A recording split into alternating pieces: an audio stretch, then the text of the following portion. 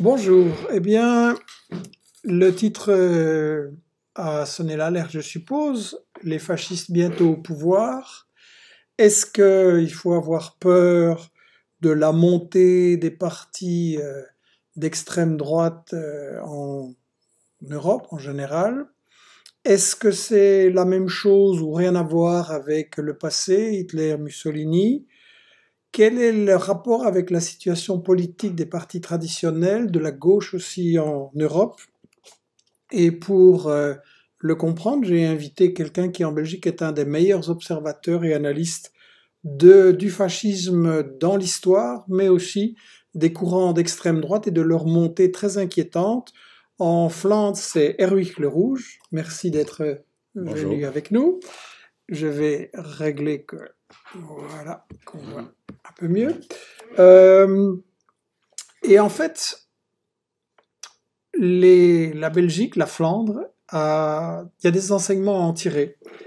Parce que aux dernières élections, en mai euh, de l'année dernière, on a eu euh, une montée phénoménale, vraiment inquiétante, du parti fasciste flamand, le Vlaams Belang, qui est un vieux parti qui a connu des hauts et des bas, mais qui maintenant a grimpé. Euh, le numéro 1 en Flandre, ça reste euh, la NVA, mais c'est un parti très très à droite avec beaucoup de points communs, on va le voir. Les sondages récents sont très inquiétants. Ils disent que le Vlaams Belang deviendrait le plus important euh, parti en Flandre. La NVA numéro 2 est en train de lui courir après. Et on pense donc qu'il y a des enseignements à tirer de cette situation flamande, puisque vous avez bien remarqué que c'est une montée générale de partis d'extrême droite, et parfois ouvertement fachos, en Europe, avec l'AFD en Allemagne, la Lega en Italie, le Front National, Rassemblement National en France, il y a l'Autriche, la, Tchéquie, la Hongrie, euh, en Suède, le Parti populaire danois, ils ont tous dépassé les 10%, et ils sont déjà en alliance avec d'autres partis au pouvoir ou en train de soutenir de l'extérieur des partis au pouvoir, en Italie, en Hongrie, en Pologne, en Autriche, en Estonie, aux Pays-Bas, au Danemark. Si on sort de l'Europe, euh, il faut quand même euh, s'inquiéter un peu de Trump, de Bolsonaro, de l'Inde aussi maintenant, etc. Donc c'est une nouvelle mode Erwick Le Rouge, pour commencer, est-ce qu'on pourrait clarifier les termes? Fasciste, extrême droite, populiste aussi disent certains. Est-ce qu'on pourrait définir un peu ça? Euh, Oui, populiste, je, voulais, je, voudrais quand même l'écarter euh, tout de suite parce que ça donne l'impression, le terme donne l'impression que ce sont des partis qui représenteraient le peuple euh, ou qui, qui diraient tout haut ce que le peuple pense tout bas, etc.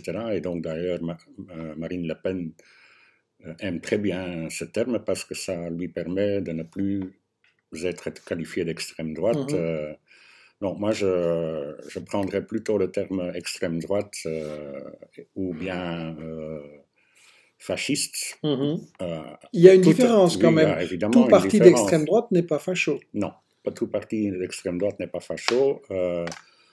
bon, dans les, chez les historiens du fascisme et les théoriciens du fascisme, on pense que il y a certaines caractéristiques pour qualifier un parti de fasciste, mhm. euh, et notamment c'est la question de la volonté euh, de violence, mhm. d'utilisation de, la violence dans la politique pour arriver au pouvoir.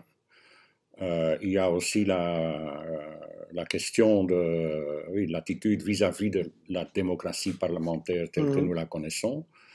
Et donc la plupart des partis conservateurs dans les circonstances actuelles, euh, bon, se situent dans le cadre encore, disons, du jeu parlementaire mmh. euh, classique euh, et ce qui, ne, ce qui ne veut pas dire que les choses ne peuvent pas évoluer parce que dans certains partis conservateurs, il y a aussi des gens qu'on peut qualifier de fascistes et qui, bon, dans certaines circonstances, peuvent prendre ça veut dire qu'un euh, parti qui respecte plus ou moins le jeu des élections démocratiques peut basculer euh, peut basculer parce que je pense qu'en Flandre, par exemple, euh, on nous avons la situation suivante, c'est que nous avons deux partis qui historiquement sont issus de, oui, de, la tendance plutôt fascistes du mouvement nationaliste flamand, Mhm.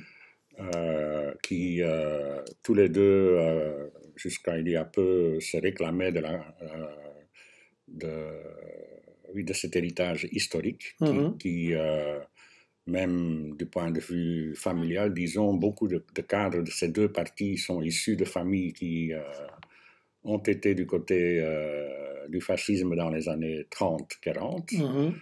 Euh, Et maintenant, Et- ils prennent des distances. euh, ils ont pris des distances à un certain moment, Mhm. euh, mais ce qu'on voit maintenant, c'est qu'il y a de nouveau un rapprochement. Donc, euh, depuis que, depuis que il y a eu, bon, disons, depuis la campagne Marrakech de la NVA, c'est-à-dire une campagne qu'ils ont menée contre l'approbation de la Belgique du, du traité de Marrakech, on voit clairement que la NVA se rapproche plus de nouveau de- du Vlaams Belang. Mhm. Et, euh, et, euh, donc, il y a un courant dans la NVA qui risque, euh, lors des prochaines élections, oui, de vouloir faire une alliance avec le parti fasciste Mhm. ouvert, ou bien de passer à ce parti-là. donc, disons que c'est très poreux euh, entre les deux. Il Oui. y a des va-et-vient de cadres, on a deux, trois images qui montrent ça, et pour nos amis français, je vais dire qui on voit maintenant à l'écran. Ouais. Au milieu, c'est un ministre de la NVA qui a joué un rôle très très important pendant cinq années en Belgique parce qu'il a été le ministre, de, on va dire, de la répression des réfugiés et des immigrés. Donc il y a eu beaucoup de protestations populaires contre lui. Il s'est toujours pro- proclamé euh, démocrate, mais là, il est en compagnie de gens qui ne le sont pas du tout. Euh, oui, on voit à gauche sur l'image, euh, on voit euh, Dries van Langenhove, qui Mhm. est maintenant député pour le Vlaams Belang, donc le parti fasciste, euh, au Parlement belge, et qui, euh, qui est connu comme étant quelqu'un qui euh, est ouvertement raciste. euh, Il a diffusé des euh, tweets et des mèmes. de- des mèmes, rigolaient euh, sur oui, Hitler, oui, hein. C'est ça, c'est ça, et qui, qui aussi a, dirige une organisation qui prône la violence et qui s'entraîne aussi, qui a été dans des camps de Pologne pour Mhm. faire soi-disant du paintball, etc., mais, mais donc qui, qui incite à la haine et à Qui la violence des tous les milices jours, violentes. qui pré- prépare des milices violentes. ouais. On a une autre image sur euh, les euh, liens.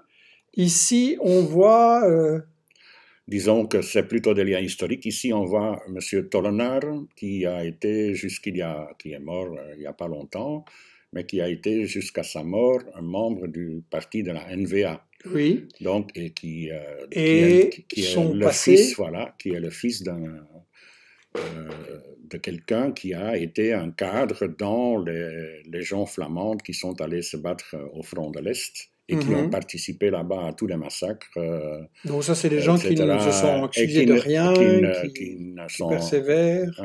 oui, qui n'ont aucune honte à avoir euh, fait ça ou euh, qui justifient Mhm. encore toujours ça. Et ils sont donc devenus plus fréquentables. Ici, on a la photo à gauche d'un ministre euh, qui a été dans le gouvernement flamand, parce que la Belgique, euh, pour nos amis étrangers, il faut savoir que c'est un petit pays de 11 millions d'habitants, mais on a six gouvernements, c'est formidable.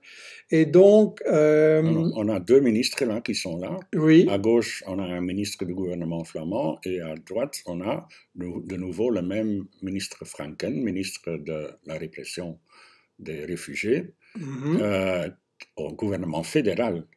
Et donc- le petit et vieux qu'on voit là à droite, hein, il a l'air bien tranquille, C'est mais une fi- figure historique euh, du nationalisme flamand, de l'extrême droite flamande, qui euh, a dirigé euh, une milice violente dans les années euh, 60, euh, 70 euh, du siècle Mhm. précédent, euh, qui a c'est le VMO. Hein. qui est le VMO, qui a notamment été responsable de la mort d'un d'un colleur d'affiches d'un autre parti euh, et qui faisait aussi des camps d'entraînement dans les Ardennes, etc. Donc, qui se préparait euh, à la violence, qui, est aussi, qui était aussi euh, dans les jeunesses de- du Parti collaborateur euh, pendant la Deuxième Guerre mondiale. Et donc, ces ministres ne craignent pas de s'afficher en donc, compagnie de ces gens-là. C'est c'est ça qui, qui est, qui est inquiétant parce que là, on voit l'évolution. Il y a dix ans, un ministre de la, du parti, Mhm. disons, nationaliste flamand assistait aussi à une réunion des anciens de- du Front de l'Est en Flandre. Il a dû démissionner à cause de ça. Donc euh, aujourd'hui, nous voyons deux ministres qui assistent à une fête d'anniversaire d'un ancien euh, collaborateur et euh, ça, ne, ça ne provoque plus ces remous-là. Donc Hmm. il y a une accoutumance, il y a une normalisation Le fascisme de- est banalisé. du, fascisme euh, en Flandre pour le moment. Bon, on va essayer de définir maintenant euh, le fascisme. Est-ce que c'est seulement de la violence et du racisme ou bien est-ce qu'il y a une vision du monde, une philosophie derrière? Oui, on, on- on se tromperait lourdement si on pensait que le seul moteur euh, du fascisme, ce serait le racisme. Mhm. Donc il y a une vision du monde global qui est, qui est derrière, qui est d'ailleurs euh, Caractérisé par quoi? caractérisée par plusieurs éléments. euh, donc là, évidemment, il, il y a, il y a le racisme, mais il y a aussi le nationalisme qui est en Flandre une des portes d'entrée les plus importantes euh, du fascisme. Donc en Flandre, nous avons, comme vous le savez, essentiellement deux communautés.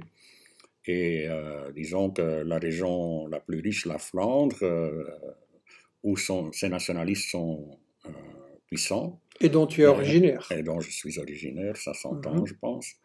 Il, il y a, il y a 30, 40 ans maintenant que, euh, oui, il mène une campagne pour la création d'une nation flamande et la scission de la Belgique. Et concrètement, la nation, c'est un mythe, c'est quoi dans Ouais. leur vision Oui, évidemment, pour, pour eux, la nation, c'est quelque chose qui, euh, qui est une, oui, une construction historique, mais réelle. Donc, ce ils, ils ne sont pas nationalistes dans leur temps, où ils essaient de prouver que ça existe depuis, euh, depuis Mhm. le Moyen Âge, mais euh, ce qui pour la Belgique n'est d'ailleurs pas vrai. Donc, la Flandre n'a jamais existé euh, jusque, disons, récemment en tant que concept euh, de nation.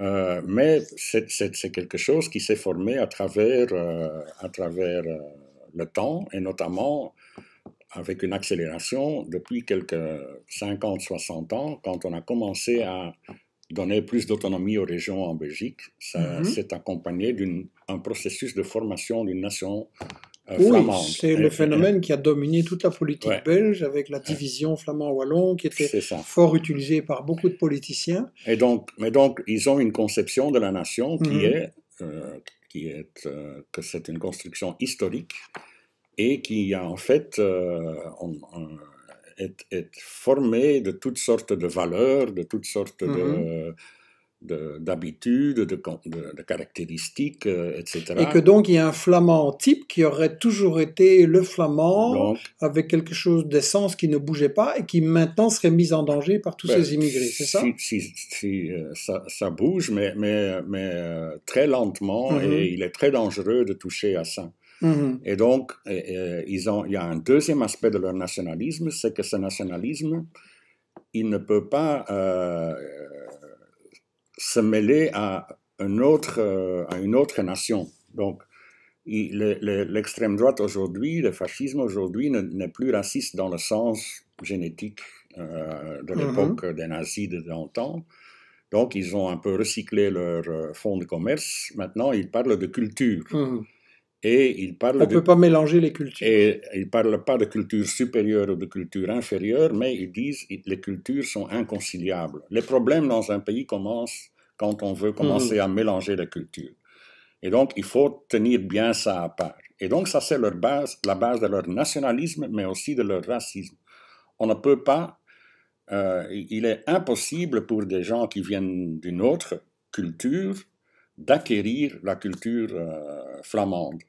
Mhm. Et euh, oui, ça cause tous les problèmes de non-intégration, d'impossibilité d'intégration. Donc, il faut absolument garder cette, Il faut protéger la cette- pureté. la nation pure. Mhm. Donc, c'est un, recyclage de, Et ça, des c'est un anciennes peu le théories. vieux thème d'Hitler, C'est le vieux thème d'Hitler, mais Mhm. dans une forme plus euh, civilisée. plus acceptable. Et, d'ailleurs, il faut, il faut dire que Hitler, au début, le programme de Hitler n'était pas non plus l'extermination euh, du peuple juif. C'était épurer la nation allemande de tout ce qui n'était pas allemand.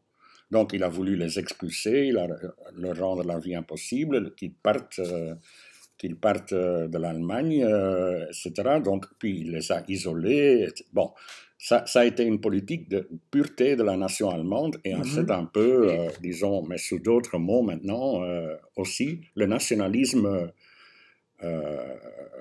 De, de l'extrême droite. Et donc, il y a, disons, il y a une différence linguistique entre, euh, entre le fasciste du Vlaams Belang et la NVA, les nationalistes de la mhm. NVA, c'est que, en théorie, la NVA dit pour nous, nous avons un nationalisme ouvert.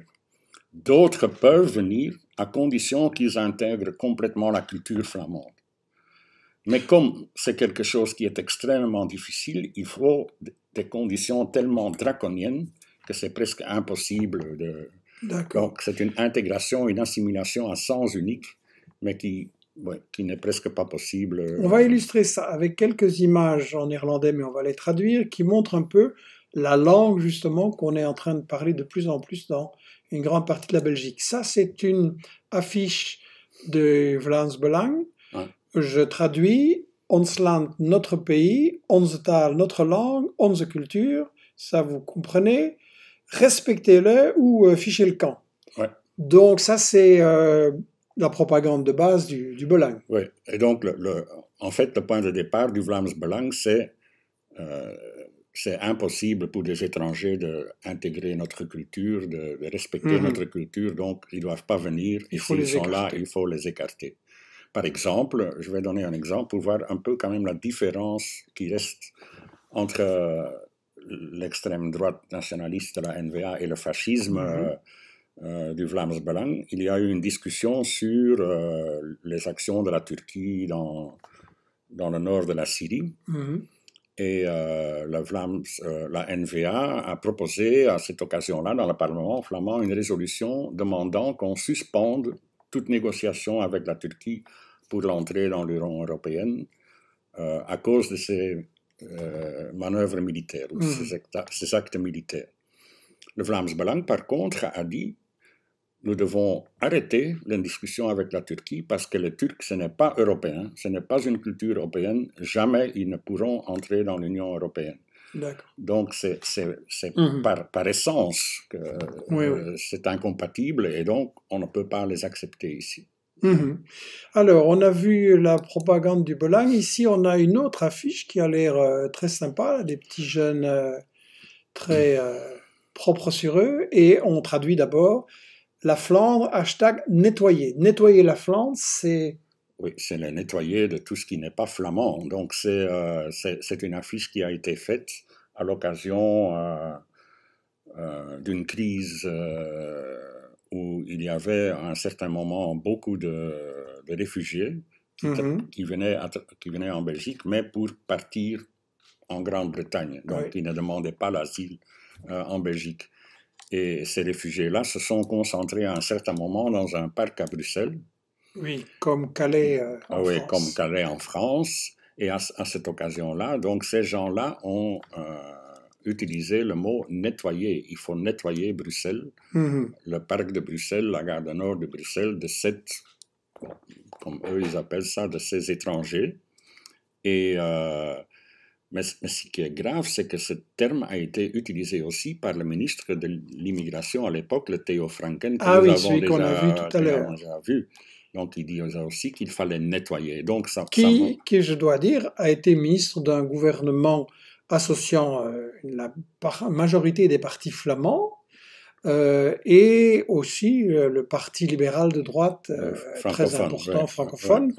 Donc, des gens qui pratiquent cette langue ont été sans problème ministres. non, ils sont, ce n'est pas pour cette raison-là qu'ils ont quitté le gouvernement. Mhm. Ils ont quitté le gouvernement à la fin de la législature parce qu'ils ne voulaient pas que le gouvernement belge adopte le pacte sur l'immigration, dit pacte de Marrakech, déjà, le nom, euh, le nom euh, est déjà Ils ont joué là-dessus, mais c'est justement les élections approchaient, et donc la NVA a eu peur de la montée du Vlaams Blanc, qui se voyait déjà un peu dans les sondages, et ils ont voulu faire euh, du racisme aussi pour rattraper un peu le courant. Ça. On va illustrer justement cette manière de jouer sur la peur des migrants en vous montrant d'abord que c'est un phénomène européen, puisque là, on va montrer d'abord une déclaration de la responsable du parti fasciste allemand, l'AFD, qui, elles, ont traduit là, euh, la migration n'est pas un droit de l'homme, ça c'est carrément leur programme théorique chez eux. Mais ça montre euh, le rôle de ces partis conservateurs. Donc, c'est-à-dire que euh, la migration est inscrite dans des traités internationaux, dans des conventions internationales. Euh, chaque homme a le droit de demander l'asile, mm-hmm. de quitter son pays, de demander l'asile. Quel est maintenant le, rôle Donc, disons, il y a les partis traditionnels qui disent oui, le droit d'asile, euh, c'est un droit de l'homme, il faut le respecter, etc., mais qui prennent en même temps des mesures pour presque rendre impossible cette euh, migration. Mhm. Frontex qui arrête les, les, réfugiés euh, à 100 km de leur, de leur pays, qui les empêche en fait de demander l'asile. On est déjà dans la violation des droits de l'homme. Mais on est dans la reconnaissance verbale des droits de l'homme, mais dans la, dans, oui, la violation pratique de mhm. ces droits de l'homme. Puis on a ces partis-là d'extrême droite qui, eux, font bouger les lignes, qui disent on doit mettre en, pratique, euh, en, concordance, notre pratique avec mhm. notre théorie. Et donc, on, nous devons quitter tous ces traités, de, soi-disant, des droits de l'homme. Donc, c'est un, c'est, un, point essentiel pour, pour l'extrême droite. C'est donc, euh, oui, euh, c'est une caractéristique de tous les partis d'extrême droite et de tous les partis fascistes, c'est que euh, ne reconnaissent pas les droits de l'homme. Les droits de l'homme n'existent que dans la mesure où ce sont des droits qui sont, euh, comme eux ils disent, qui, qui, peuvent être acceptés par la nation. Mhm. Donc, il faut... Donc c'est un pouvoir fort, avec une direction autoritaire, non, et il n'y a pas des, droits de citoyens. C'est d'abord, comme leur grand idéologue Burke disait, mhm. il n'existe pas des droits de l'homme. Hmm. Euh, l'homme, c'est soit un concept zoologique, mm-hmm. soit ça ne veut rien dire. Donc, euh, c'est contrairement à, toute la tradition de la Révolution française, il n'y a que les droits des Anglais, il n'y a que les droits des Flamands, il n'y a que les droits des... Donc, ah oui. les droits sont liés à une nation qui définit elle-même quels sont les droits et quels sont hmm. pas les droits. Donc, il refuse la Déclaration universelle des droits de l'homme. Ils refusent la Déclaration universelle des droits de l'homme hmm. et donc ils veulent aussi que euh, leur pays ne s'inscrive plus dans cette Déclaration universelle qui a été euh, justement mise en avant après la Deuxième Guerre mondiale après l'expérience du fascisme, après l'expérience des hmm. réfugiés, euh, après toute cette catastrophe-là, on a dit, voilà, il faut, il faut par exemple, inscrire le droit d'asile comme un droit universel qui est applicable à tout le monde. Tout le monde a le droit de, faire appel à ce, à ce droit-là, et eux, ils remettent ça en cause. J'aimerais qu'on creuse deux minutes sur cette conception. Donc, ils refusent l'égalité entre les êtres humains, ils refusent donc les droits égaux qui en découleraient. Est-ce que c'est seulement sur le plan de la migration que les fascistes ou l'extrême droite euh, ont cette vision du monde ou est-ce qu'il y a d'autres inégalités qu'ils défendent, d'autres discriminations? Non, oui, euh, il y a euh, par exemple, l'inégalité euh, de genre entre mhm. hommes et femmes est quelque chose qui est remis en question par. Euh, par pour eux, il y a une nature où c'est l'homme qui doit dominer. C'est naturel, donc il, se réfère à des, à des théoriciens fascistes euh, des années 30, pour cela, comme Evola, où mhm. chaque l'homme a un rôle spécifique à jouer, il est fort, il doit défendre sa famille, il doit défendre sa patrie, etc. La femme doit euh, produire euh, des hmm. enfants, elle doit être gentille, elle doit... Donc, elle, elle, euh, ils disent que c'est justement, par exemple, le féminisme qui est responsable de toute une série de problèmes maintenant dans la société, de problèmes psychologiques des gens, de hmm. familles qui, qui se séparent. Ils refusent l'égalité. Donc, et c'est à cause du fait qu'on on a voulu imposer l'égalité entre hmm. les hommes et Vola, que tu as cité, c'est un théoricien qu'on retrouve mentionné souvent dans le livre de Alain Soral, qui est effectivement, quoi qu'il en dise, un théoricien d'extrême droite, qui défend un peu le même genre de fond de pensée. euh, et donc qui a vraiment prôné très fort la discrimination, le refus de l'égalité avec les femmes. Est-ce que sur le plan des classes sociales, il y a aussi une doctrine comme ça d'inégalité? Euh, Oui, donc puisque cette inégalité, elle a d'ailleurs à voir avec leur conception de la nation, qui est historiquement déterminée et à laquelle il ne faut pas toucher. Mhm. Ça veut dire aussi que la, tradition, l'histoire a fait que les meilleurs ont émergé et que les meilleurs sont, s'ils sont riches, c'est à cause de, euh, leur propre effort, de leur propre euh, euh, travail qu'ils ont presté et ils ont donc le droit d'être comme ça. Si on est riche, on le mérite. Et on le mérite, c'est une il ne faut pas résister à ça. Et donc, il ne faut pas remettre en cause cela. Mm-hmm. Dès qu'on remet en cause cela, on, on crée des problèmes dans la société. Et donc, euh, il, euh, ça va de pair avec une vision que nous appelons corporatiste euh, de la société, c'est-à-dire qu'il il faut que toute la nation mm-hmm. collabore ensemble pour, par exemple, dans le cadre d'une entreprise, faire des bénéfices, gagner dans la lutte de la concurrence, sous la direction de ceux qui sont les propriétaires, euh, etc. Donc, il, euh, euh, l'élitisme est quelque chose de, de, essentiel pour, mm-hmm. pour l'extrême droite. Ça se reflète par exemple dans leur conception de l'enseignement. Donc, ce ministre Franken, il a, il a, il y a un débat en Flandre sur, sur euh, je vous montre ici une image qui est venue récemment dans la presse et je la traduis. La NVA veut s'occuper elle-même de la classe, donc de l'école. Et dans le gouvernement précédent, ils avaient laissé ça à des partis un peu plus démocratiques. Mais là, ils ont décidé de prendre ça en main. Pourquoi?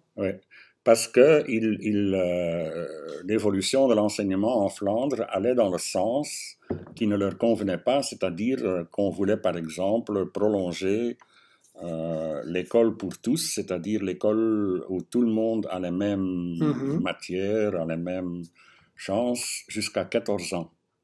Donc, c'était l'école polytechnique qu'on appelle jusqu'à 14 ans, et on commence à faire des, choix, mm-hmm. euh, enseignement général, enseignement technique, enseignement professionnel, qu'à partir de 14 ans.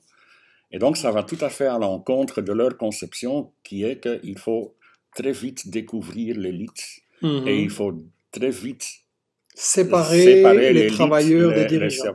Euh, donc, il y a une mhm. partie de la population qui a droit à un enseignement de, qualité, élitaire, etc. Et il faut créer des écoles comme ça, où les talents sont valorisés, où, le cadre est, est meilleur. Et pour la masse des autres, bon, on crée alors une école euh, qui, qui, euh, qui, va les faire des, des soumis. C'est ça, pas, mhm. seulement des soumis, mais qui va leur apprendre juste ce qu'il faut pour qu'ils puissent tourner dans. Quand même des soumis euh, qui ne critiquent pas trop la société. Ça, c'est pour l'ensemble. D'accord. Alors, on a donc eu une définition là, je résume parce que ça me semble fondamental, une définition de du mode de pensée fasciste et extrême droite qui est largement commun, à savoir inégalité, avant il disait entre les races, mais là il n'ose plus, donc entre les cultures, entre les peuples, inégalité homme-femme et inégalité sociale, c'est-à-dire qu'il faut accepter la domination des riches, il ne faut pas contester. On revient un instant sur ce qu'on avait commencé, c'est-à-dire les images par rapport aux migrants on a le même parti AFD allemand qui a diffusé cette image-ci, euh, manifestement un grand choc. On traduit, euh, il faut arrêter le pacte de la migration et euh, des clans arabes en sous-titre là déterminent, modifient l'image de, de l'État et de la criminalité organisée. Pardon pour ma traduction allemande qui est pas top, mais cette image, ils ont beaucoup joué sur les peurs là. C'est non, ça c'est un, un, autre grand thème auquel il faut vraiment faire attention et qui est très, très important quand on parle de l'extrême droite, c'est la création de mythes. Et la création de mythes, euh, ça a toujours servi au fascisme, les fascistes qui disaient, bon, la, la, la question n'est pas tellement de savoir si quelque chose est vrai ou pas, la question est de savoir si ce qu'on raconte peut mobiliser les masses. Mmh. Et donc, il faut avoir une histoire qui joue sur les émotions, qui joue sur les peurs, et qui, peut, qui est capable d'entraîner une mobilisation de masse. Et ça, c'est un exemple de ça. ça. On présente nos pays comme déjà euh, dominés, envahis par euh, les gens de culture musulmane, mm-hmm. avec tout de suite l'image négative des femmes voilées et ensuite de la criminalité organisée qui est... Mm-hmm. Qui est euh, On va revenir sur cette histoire du grand emplacement. Je reviens sur la photo du parti AFD allemand, parce que ce qui est frappant, c'est qu'en fait, ça a été une campagne euh, européenne et on a exactement la même image avec un autre texte dans euh, la propagande électorale récente du parti fasciste flamand, le Vlaams Belang. Donc là aussi, euh, comme on l'a dit, stop Marrakech et il faut, arrêter, il faut arrêter de laisser les portes ouvertes à la culture des migrants qui sont dangereux. Donc les partis fascistes emploient cette image mais alors, ce qui est plus euh, frappant et inquiétant, c'est que exactement la même image a été employée dans sa campagne électorale récente par la NVA, qui n'est pas un parti fasciste, mais qui est un parti qui louche quand même vers le même, euh, la même peur. Oui, ça montre encore la porosité entre euh, ces différents partis qui, euh, oui, donc c'est le, thème, le thème de semer la peur et, nous sommes envahis et euh, c'est impossible de, de, ces gens-là. Il a été repris au niveau européen et jusque dans tous les partis d'extrême droite. Donc ça montre aussi le progrès qu'a fait l'extrême droite en Europe mm-hmm. en matière de, de, coordination parce que il y a, il y a pas si longtemps, ces partis se, se, battaient entre eux. Il y a encore des contradictions, par exemple. Mm. Il, y a, il, y a, des partis d'extrême droite qui sont pro-russes, tandis que d'autres, comme en Pologne, etc., sont farouchement anti-Poutine, etc. Donc il y a encore des divergences entre eux. Mais il y a des une genre d'international qui est en train de se tentative, Il y a une tentative de coordination qui était normalement initiée par Steve Bannon, qui, ah qui, qui était un ancien conseiller euh, principal de Trump. Qui Ancien ou toujours, mais peut-être en coulisses. Plus officiellement, et, mm. tout, et qui, qui, a déménagé en Europe et qui, avant les dernières élections européennes, a vraiment fait des efforts de coordination. Il a voulu euh, créer une sorte de centre de séminaire dans un couvent euh, à Rome, avec l'aide de Salvini, mais suite à des protestations de, de, la commune de Rome et de la population, ça, pas, ça ne s'est pas mais donc, il voulait créer un centre de formation mm. de cadres européens euh, pour l'extrême droite. Il a aussi, par exemple, cette campagne était menée à partir d'un site web où il y avait une pétition contre le pacte euh, de Marrakech mm. qui était le même pour l'ensemble des partis euh, d'extrême droite européens. Donc voilà, donc il y a, il y a une tentative de coordination. Et donc cette attitude de jouer sur la peur envers les migrants, c'est ça qui est une porte d'entrée pour justement justifier la violence assez caractéristique des, c'est ça, méthodes fascistes. C'est ça le grand danger, c'est que, c'est que comme Hitler, il a, il a semé la peur du juif euh, en Allemagne, ce qui, et il a déshumanisé euh, la population juive. Donc, c'était une condition pour, pour mmh. que une masse soit prête à utiliser de la Il faut que ça ne soit plus des êtres humains, mais, qu'il soit qu'un danger. Donc, euh, il, faut que, il faut que euh, on arrive à convaincre la population, surtout défavorisée, que l'immigration, ça va être la fin de leur sécurité sociale, qu'ils n'auront mm. plus rien à dire dans leur propre pays, euh, qu'ils sont avantagés partout, qu'ils vont prendre tout en main, etc., pour qu'on passe à la phase suivante et ça c'est aussi un thème, c'est le droit à l'autodéfense. Quand, quand, on voit par exemple euh, l'attentat de Breivik en Norvège, mhm. ça a été fait au nom du droit à l'autodéfense. Il s'en est pas pris. Euh, aux réfugiés, aux immigrés. Euh, environ 150 jeunes. Jeunes du Parti social-démocrate mhm. norvégien, qu'il rendait responsables de cette de ce remplacement, de ce flux d'immigrés qui venaient mhm. ici. Donc c'était par autodéfense. Et donc ce qu'on voit aussi maintenant dans, avec tous les attentats, euh, on voit que ces attentats en Allemagne euh, ou même les meurtres racistes en Italie sont justifiés par des politiciens d'extrême droite en disant mais c'est normal. Hein. Si on laisse venir tous ces immigrés, les gens, ils n'acceptent plus. Mhm. Ils, ils, ils, en ont marre, ils n'en peuvent plus. Ils sont dans les problèmes et ils vont arriver tout le temps. Et donc, c'est pour ça qu'ils mènent. Euh, oui, Mhm. par exemple, le- euh, en Allemagne, il y a un député CDU qui a été ou, euh, Oui. assassiné, je ne me rappelle plus exactement de son nom, mais pendant des mois, l'AFD a laissé sur son site des appels au meurtre contre cet homme parce qu'il avait soutenu Angela Merkel euh, à l'époque qui disait nous allons bien arriver à intégrer du Schaffendas etc. donc, c'était d'ailleurs la première grande campagne de, de l'extrême droite européenne, c'est contre Merkel. Donc, on a Mhm. vu ce thème partout euh, revenir. euh. Donc, oui, donc ce- thème du remplacement sert de base à la création d'une mobilisation où les gens sont. on, on leur fait tellement peur qu'ils doivent être prêts à passer à l'acte Mhm. comme l'incendie, par exemple, à Pilsen, dans des- de- contre un, un projet d'implantation d'un centre pour euh, réfugiés. Oui. En Allemagne, il y a eu déjà des dizaines de, de maisons de réfugiés qui ont été incendiées euh, à partir de cette... euh, Mhm. Oui, c'est Ah. ce qui se passe en Allemagne, d'ailleurs, je pense, est très très important et peut-être ce serait une occasion de revenir un jour pour nous expliquer euh, comment l'Allemagne, qui était un peu le pays modèle, tout va bien, euh, il y a la cogestion, euh, les gens ont un bon niveau de vie, comment tout d'un coup ce système a changé et c'est là en même temps qu'on voit le plus de violence euh, très très grave. Bon, mais ce sera peut-être Ouais. pour un prochain Michel Bizy si tu acceptes, mais j'ai une autre question maintenant parce que l'heure tourne et j'ai euh, des questions du public qu'on va prendre, mais j'en ai encore une ici importante. Tu as dit tout à l'heure que des partis fascistes euh, font une certaine démagogie sociale en disant si euh, vous, euh, petits travailleurs, vous vivez mal, c'est à cause des immigrants. Et moi, j'ai ici, j'ai reçu dans mon bateau lettre, puisque j'habite dans un petit coin de la Flandre près de Bruxelles, j'ai reçu ici le fameux Dries van Langenhove, Stopper l'immigration, et l'argumentation qu'il donne est intéressante.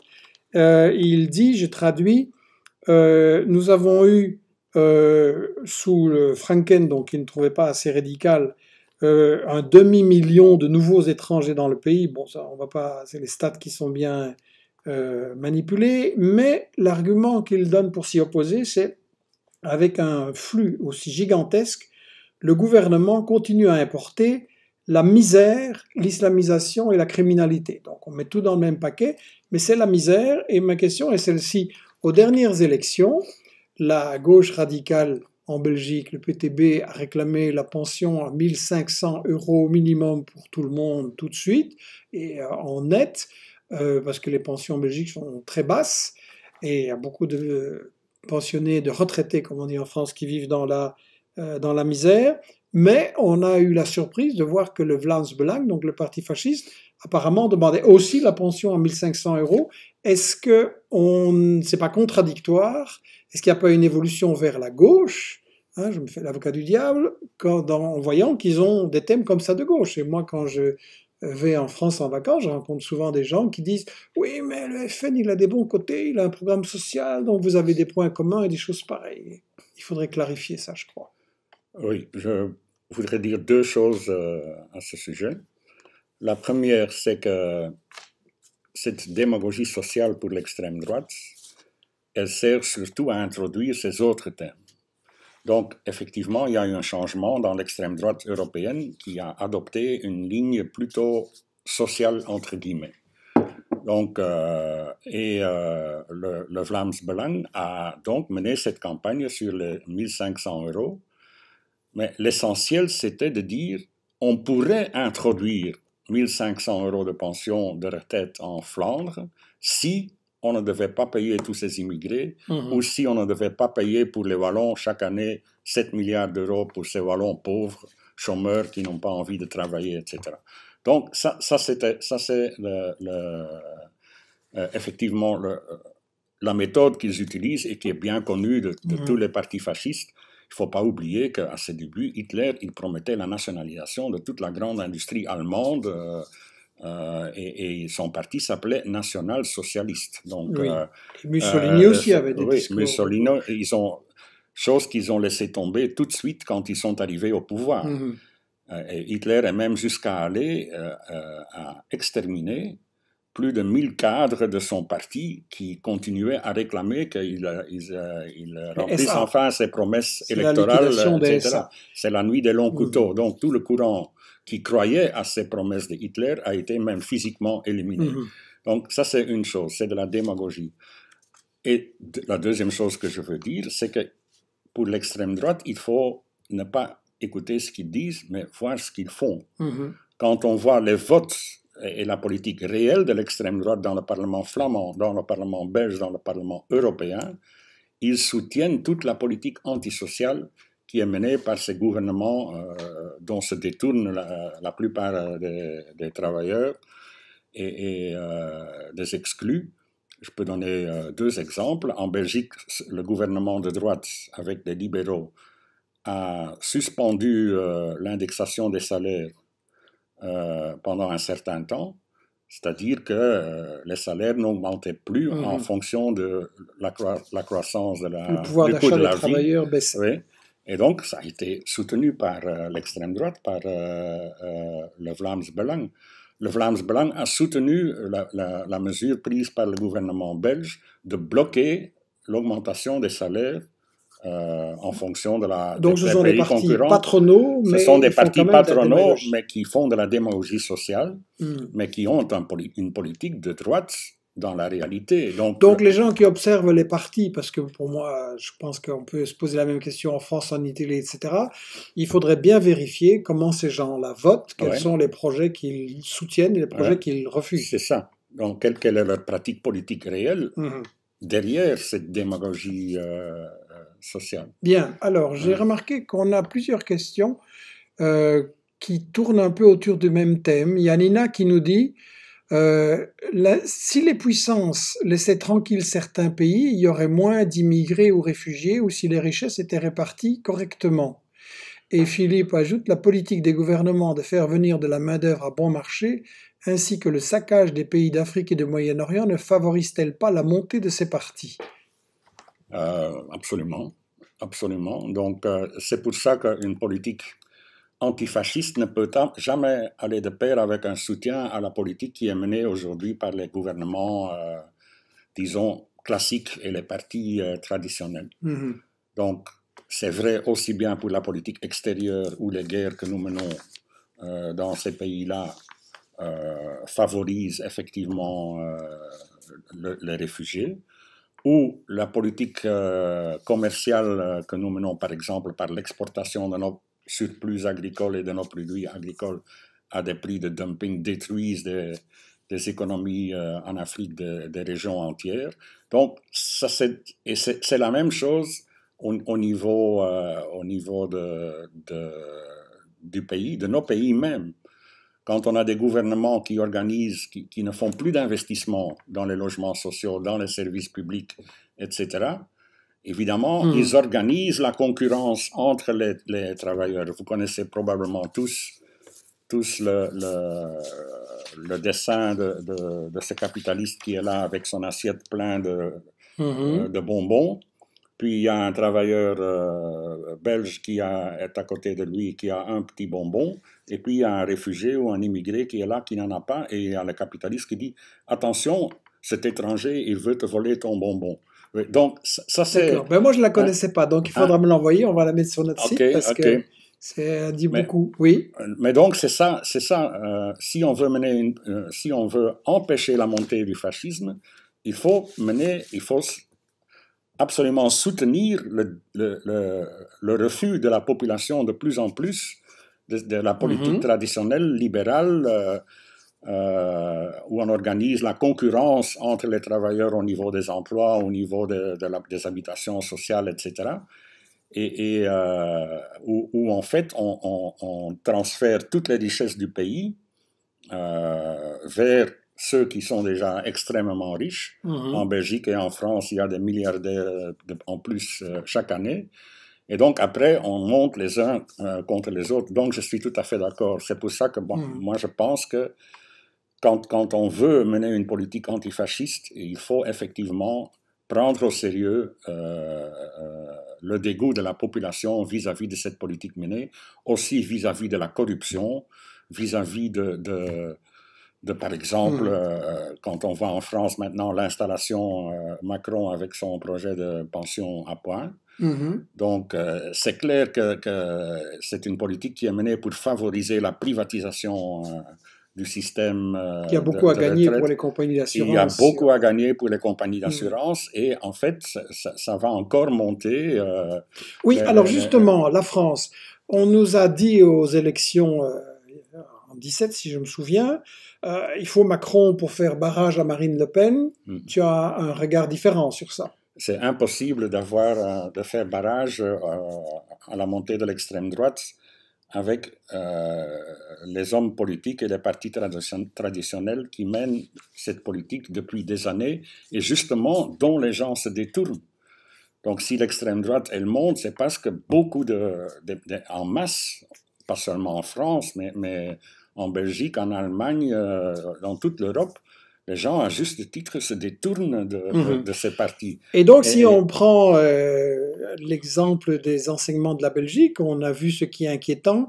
Est-ce qu'il y a en Belgique des éléments, sans vouloir donner des recettes et des modèles aux autres pays, mais est-ce qu'il y a des éléments intéressants pour voir quelle serait une riposte progressiste à la montée des, des fachos? Ouais, donc la première, la première chose que je dis, c'est qu'il ne s'agit pas de, de, de, montrer du petit doigt les gens qui votent euh, qui votent euh, pour l'extrême droite, mais d'abord de comprendre leur motivation, mhm. pourquoi ils votent pour l'extrême droite. Et deuxièmement, c'est de reprendre leur critique justifiée, et c'est ce que fait le PTB, contre, par exemple, la politique d'enrichissement énorme euh, de la part des hommes politiques. Euh, bon, qui, qui, qui impose des, des, retraites à, 900 ou à 1200 euros par, par mois à des, à des, gens qui ont travaillé toute leur vie mais qui eux-mêmes peuvent prendre leur retraite après 25 ans et gardent 4, 000 ou 5 000 euros. Euh, Donc c'est remettre les regards vers les vrais profiteurs. Il faut d'abord indiquer qui sont les vrais profiteurs et il mhm. faut avoir des revendications et se battre pour mettre une fin à cette politique d'enrichissement de, euh, personnel.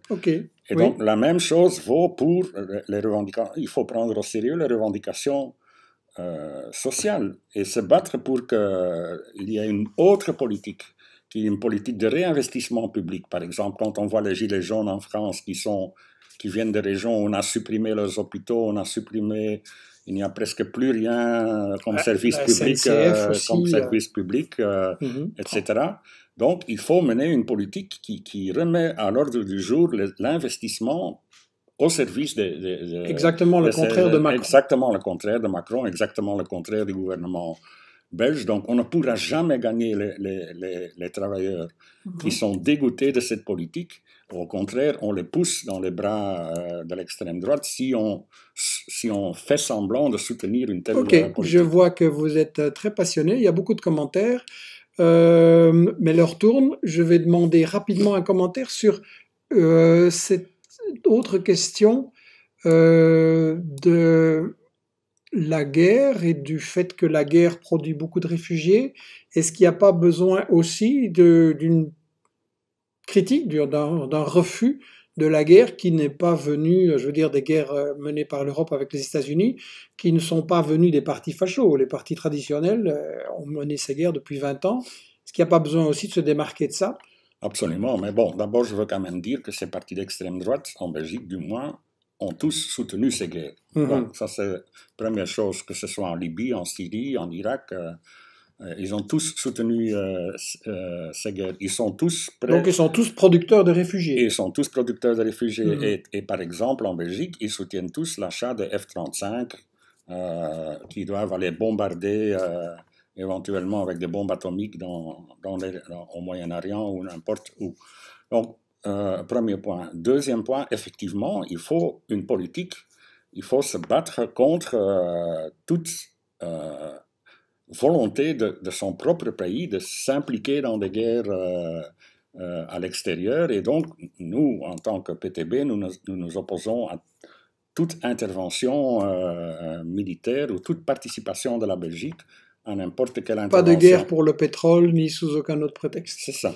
Alors, justement, on a, on, tu viens de parler de la souveraineté et on a une intervention euh, qui nous critique et qu'on va prendre. Euh, Quelqu'un nous dit, vous êtes pro-souveraineté pour les peuples du Moyen-Orient, de l'Afrique, de l'Amérique latine, de l'Asie, mais vous êtes complètement sous aux aspirations légitimes du peuple flamand. Donc voilà quelqu'un qui trouve que on est... Mais euh, je pense que ce monsieur n'a pas très bien suivi l'histoire euh, en Belgique, Mhm. parce que il est tout à fait vrai qu'il y a eu une époque où le peuple flamand, c'est-à-dire la population qui vit dans le nord du pays, a été discriminée. Mhm. Donc, elle, elle, euh, elle, euh, c'était euh, la domination de la bourgeoisie en Belgique.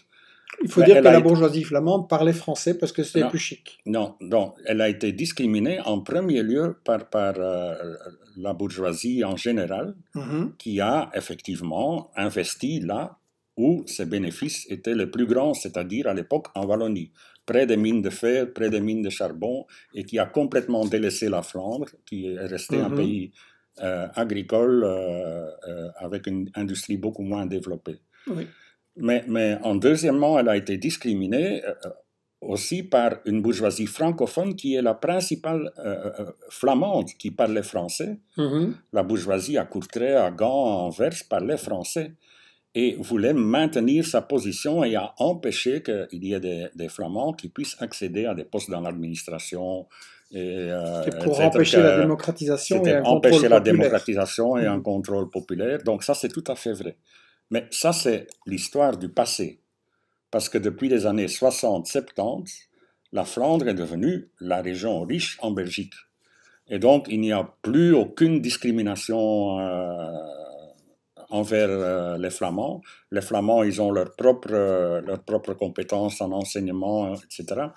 Donc, ils, ils, ils sont, ils sont maintenant euh, la région euh, euh, riche de la Belgique et je, je voudrais savoir de quelle discrimination on pourrait encore parler. euh, D'accord. Ben. Peut-être que ce monsieur réagira, mais euh, l'heure avant, il y a beaucoup de questions intéressantes, mais euh, on va pas pouvoir les prendre toutes. On répondra encore sur Facebook euh, en direct, donc euh, ce n'est pas perdu. Je voudrais euh, qu'on arrive à un mot de conclusion par rapport à ceci. Par rapport à la montée du fascisme, qu'est-ce qui est important par rapport aux jeunes aussi? Il y a quelque chose qui me frappe, c'est que les partis fachos en Belgique, aussi côté francophone, ils étaient, on peut le dire, un peu ringards, avec des trucs du passé, euh, etc. Il y avait Jean-Marie Le Pen aussi en France, c'était pour les nostalgiques, mais euh, c'était pas très moderne. Et là maintenant, euh, ce qui est bien relaté, expliqué dans un livre de Iko Mali pour euh, les amis belges qui parlent flamand, c'est chez EPO, ça s'appelle Niurex, la nouvelle droite. C'est un bon bouquin qu'on va d'ailleurs traduire et publier en français chez euh, Investigation parce que il euh, permet de bien comprendre le mode de pensée et aussi les méthodes modernes des partis fascistes dans l'ensemble de l'Europe. Mais euh, il est le Blanc a fait un tabac, euh, parfois même imprévu, aux dernières élections, notamment parce qu'ils ont été assez discrets sur les réseaux sociaux, mais beaucoup plus modernes et influents que beaucoup de partis traditionnels. Qu'est-ce qu'on peut proposer à la jeunesse maintenant pour ne pas tomber dans ce piège Parce que les sondages montrent qu'il n'y a pas seulement des vieux nostalgiques, mais aussi des jeunes ignorants, on peut dire, qui votent euh, facho. Oui, donc la, première chose évidemment, c'est que ouais, je pense que de ce point de vue-là, on peut un peu apprendre de, de, l'extrême droite dans la façon de s'adresser justement euh, à la jeunesse et d'être aussi, aussi percutant euh, que Mhm. l'extrême droite. Il faut dire que l'extrême droite en Belgique est extrêmement riche.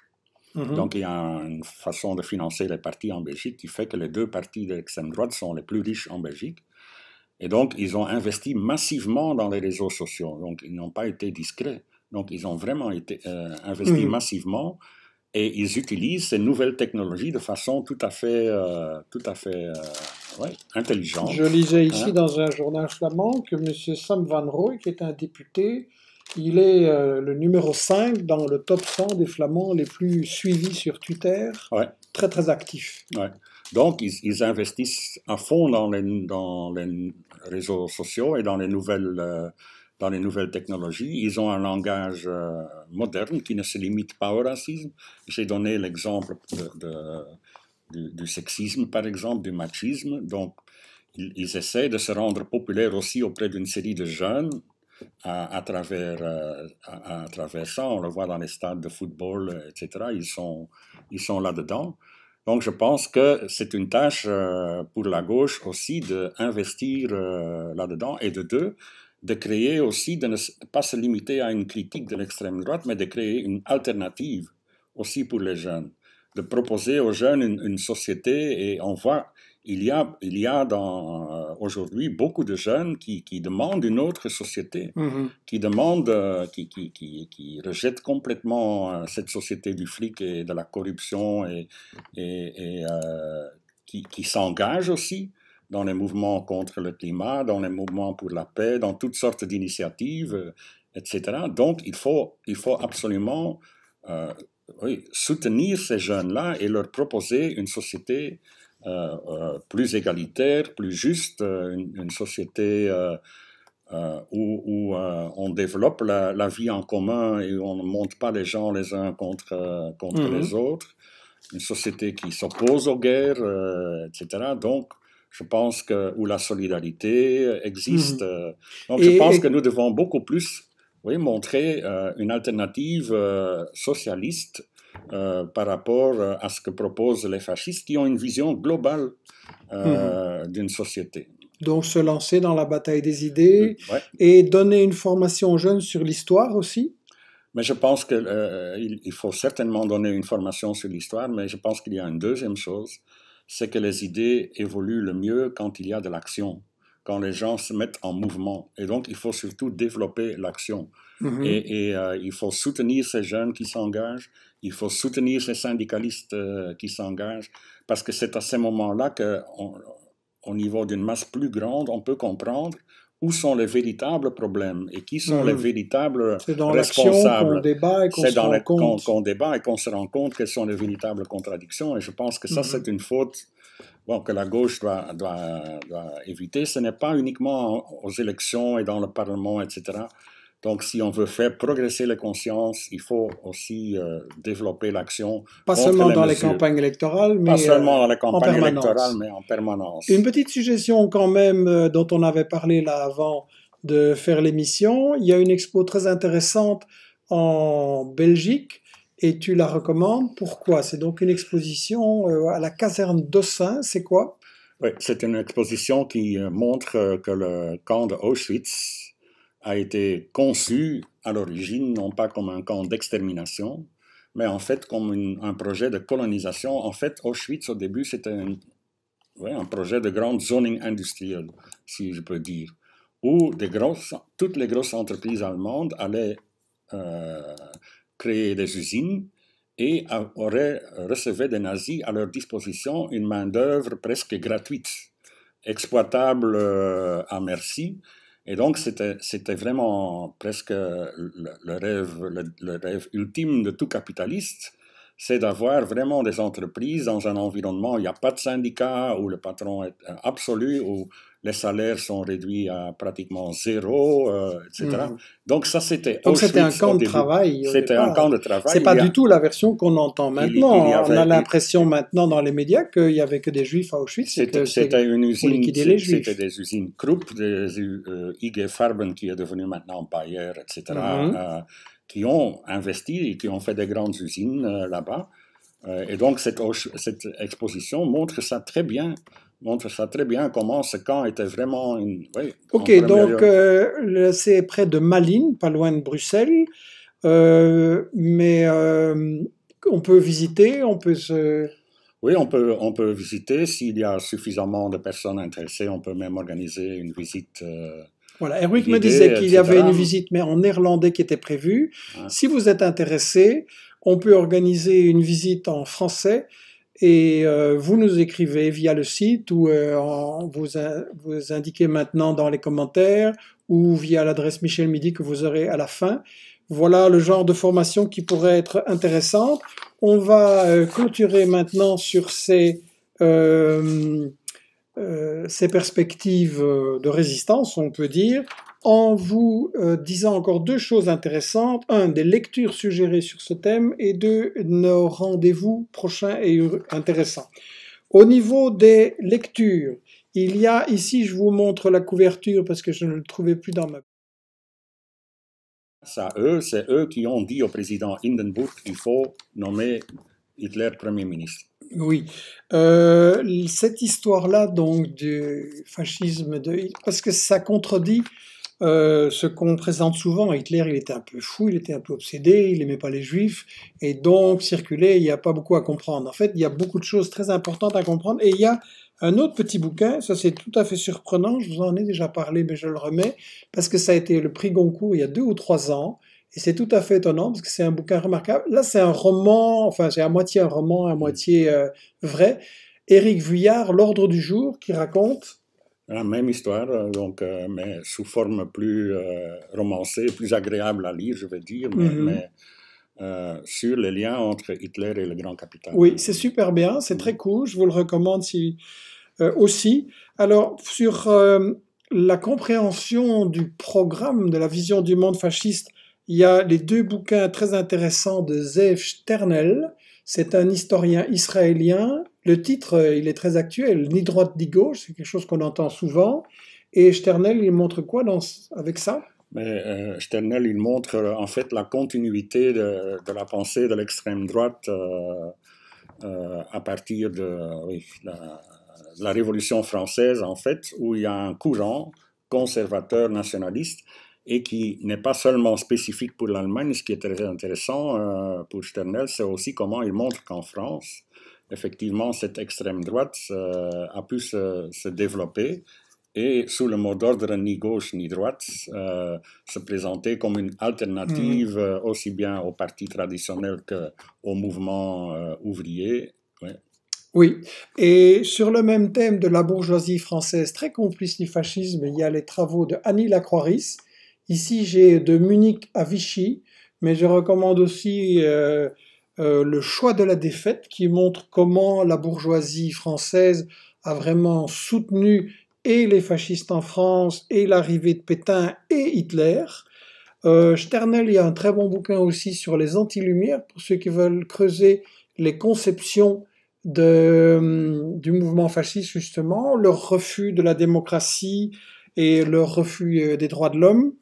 On a parlé de la peur comme euh, arme politique pour faire basculer vers le fascisme. Le petit livre chez Investigation de Robert Charvin, La peur, arme politique, est vraiment très très utile aussi. Voilà, vous allez avoir pas mal de lectures, mais je crois que c'est un sujet qui vaut la peine de le motiver. Je termine par les petites annonces.